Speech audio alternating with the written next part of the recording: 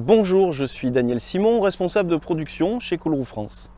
Dans cette vidéo, nous allons voir comment nous servir d'une machine airless pour les chantiers de plus de 500 mètres carrés.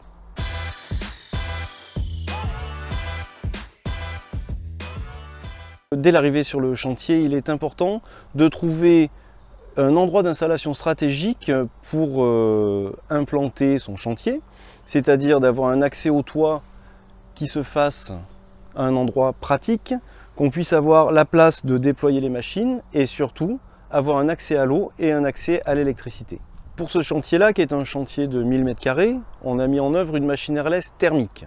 Avant toute mise en fonctionnement et en pression de la machine, on aura soin de mettre en service la machine uniquement avec de l'eau afin de repérer les fuites éventuelles de façon à ne pas être embêté par une fuite de peinture et aller euh, salir le chantier. Dans ce chantier, on a pris l'option de laisser la machine par terre, au sol, et monter les flexibles jusque sur le toit.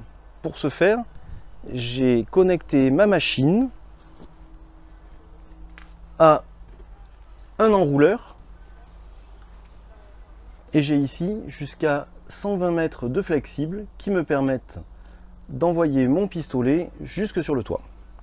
Au bout de ce flexible de 120 mètres, on va avoir un pistolet équipé pour les deux premières couches de base coat d'une buse de 631 et d'un filtre de 50 mèches.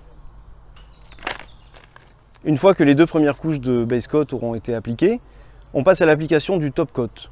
C'est un produit que nous allons appliquer à 100-150 grammes du mètre carré avec une buse de 5,17 équipée d'un filtre de 100 mèches.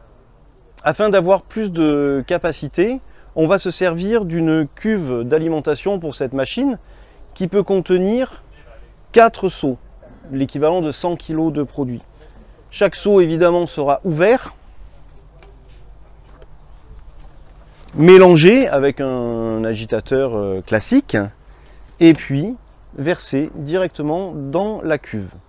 La bonne organisation du chantier, c'est d'avoir un opérateur en bas qui va veiller au bon fonctionnement de la machine ainsi qu'à son alimentation, et un à deux opérateurs, puisque cette machine peut alimenter deux pistolets sur le toit pour faire l'application. Donc maintenant, on met en route la machine et on aura soin de régler la pression entre 150 et 200 bars afin d'avoir au bout du flexible une pression convenable. On est maintenant sur le toit, la machine est en route, elle est réglée. Mon pistolet a la bonne buse 631 et le bon filtre. 50 mèches. On peut procéder à l'application de la première et la deuxième couche de base coat.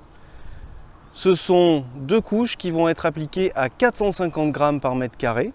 Ce qui va faire le grammage sur mon support, ça va être à la fois le débit que j'ai à mon pistolet et ma vitesse de marche. Puisque pendant l'application de la surface courante, mon bras ne bouge pas, c'est uniquement mes pas qui vont guider le pistolet et la vitesse de mes pas qui va déterminer le grammage qui va être appliqué.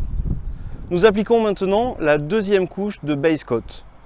Ce toit-là a été appliqué hier, donc j'ai bien mes 24 heures de séchage. On aura soin de croiser les passes entre la première et la deuxième couche du base coat. La première couche ayant été passée dans le sens de la pente, je vais passer la deuxième couche perpendiculaire à la pente. Pour cette deuxième couche, le grammage va être le même que pour la première, c'est-à-dire 450 grammes par mètre carré. J'ai toujours le soin de veiller à ma consommation. Je regarde quand je suis à la moitié du toit si j'ai bien consommé la moitié de mon produit.